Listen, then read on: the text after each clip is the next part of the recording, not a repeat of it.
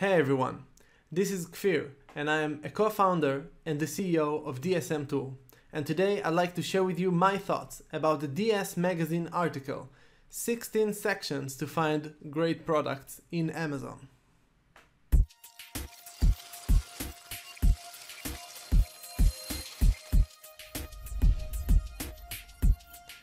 In the article published by Michelle, our uh, content curator in DSM, we are presenting to you 16 different Amazon sections. Yes, there are 16 Amazon sections, which, well, to be honest, even I didn't know about many of them. And there is a good chance and, and it's worth going through them because maybe you also don't know about some of them. So I'm not gonna go over all of the sections. The screen is always behind me in those videos, but so I'm gonna look, I'm not gonna go over the sections in this video because it's pointless. You can just go in, uh, it's at blog.dsmtool.com and read it. And don't forget to comment, sorry, don't forget to comment below. It's very important for us to hear what you guys are thinking. It's very important for us that you subscribe to our YouTube channel, that you join our Facebook groups because we want to know what do you think about it? If you like what we're doing uh, we're trying to help you build your business and it's really helpful for us to get your feedback. We're happy about it. We're happy to create more of it uh, and and that's how we know to which direction to take it.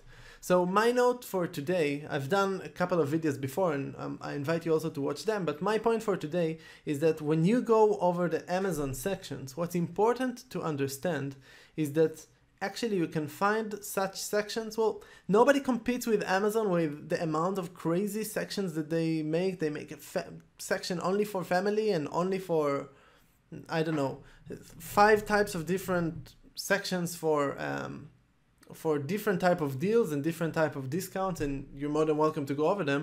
But the point is that well what if you're not selling only from Amazon? What if your strategy is not selling from Amazon at all? Or what if you're thinking to expand to other suppliers? I actually have been talking about expanding to other suppliers a lot, and I'm going to keep that line most of the time. I'm, I'm just, this article is about specifically about Amazon, and we love dropshipping from Amazon. It's like the best supplier to, to begin with. And yet, we I do think I do like to talk in those videos about how can you expand your business and how can you move on. And more suppliers will be added to DSM tool so you better know how to work with multiple suppliers. And my point is that if we could curate 16 Amazon sections uh, that you can find great products in I'm sure that together we can curate well actually right now we can curate for for such sections or for such ideas in other websites and i have two websites just as an example the first website that i that i got is um, uh, walmart and uh, i'm going to move a tab here i opened the google search and i and i wrote I took one of uh, uh, Amazon sections. It's the the clearance. It's called the warehouse clearance, and I was typing in Google the exact same thing for Walmart. And well, guess what? First result, right? Yeah. First result is warehouse outlet by Walmart. And if I go in, I, I did not go further with the with the investigation, so I don't I don't really know if it's really you know clearance sale prices, and I don't know what is the stock level there. And I'm sure that there there are things that we can discuss about whether it's a good section to use or a bad section to use. But well, the, my point is that within 20 seconds I found it. So which are the suppliers that you're working with? What kind of sections can you find there?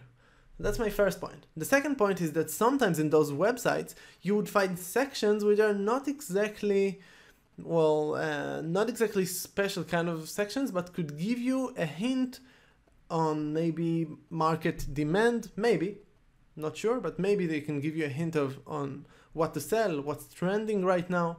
Uh, and one place that I found it was in AliExpress. If you're working with AliExpress, I'll go to the next tab. Wait a second.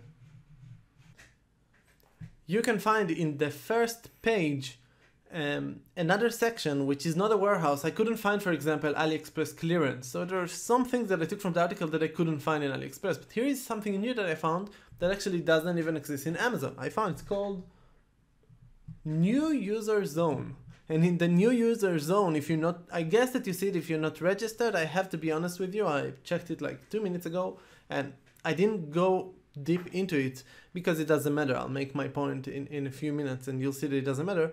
But in the new user section, I assume that they address new users who did not yet register, who did not did not yet buy product, and they want to make sure that they're selling them something, anything. They want the once the, the user has a good experience with AliExpress, he will keep coming back to AliExpress and purchase more items.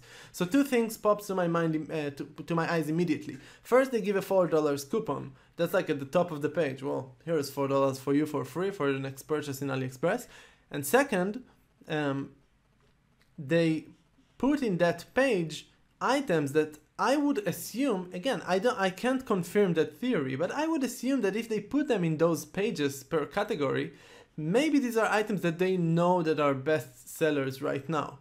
So maybe it's another way to look at best sellers and to try to find them and maybe then you can look at other suppliers and try to locate those specific um, items for even for cheaper price or for better terms or you can find a competitive way to sell them. But the point is that if you are using any kind of website, if you're Amazon sellers, uh, I mean, if you're sources from Amazon, Walmart, AliExpress, whatever source that you're using, it's definitely worth a while to take a time. Well, every week I'm saying take some time to learn something new this week. So this week, I would say that your task is um, your learning time should be deep into the different sections in the in one of the sources that you're working with learn what can it offer to you maybe it has some great products, great deals, and a great way for you to grow your business. Thank you for uh, listening to this video. I would be here also in my in the next review. Um, don't forget to subscribe. See you next time.